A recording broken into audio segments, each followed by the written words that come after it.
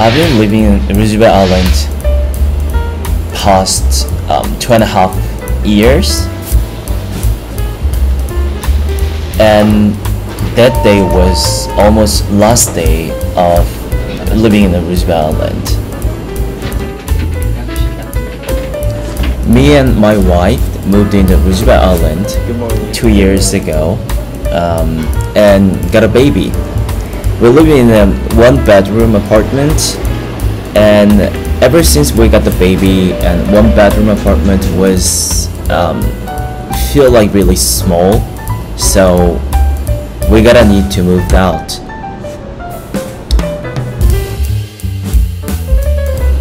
I'm a physical therapist.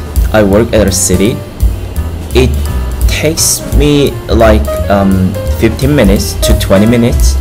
It really depends on how the transportation is gonna work. Um, sometimes tram having trouble or sometimes subway having trouble. So that's really the depends on.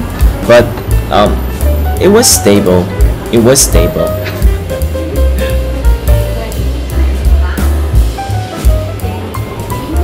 walking around Roosevelt Island was really the beautiful so sometimes when I having a lot of thinking when I'm having trouble or when I have some any private issue I walk and run all around Roosevelt Island. It was awesome and beautiful, so ever since I moved in, I never regret.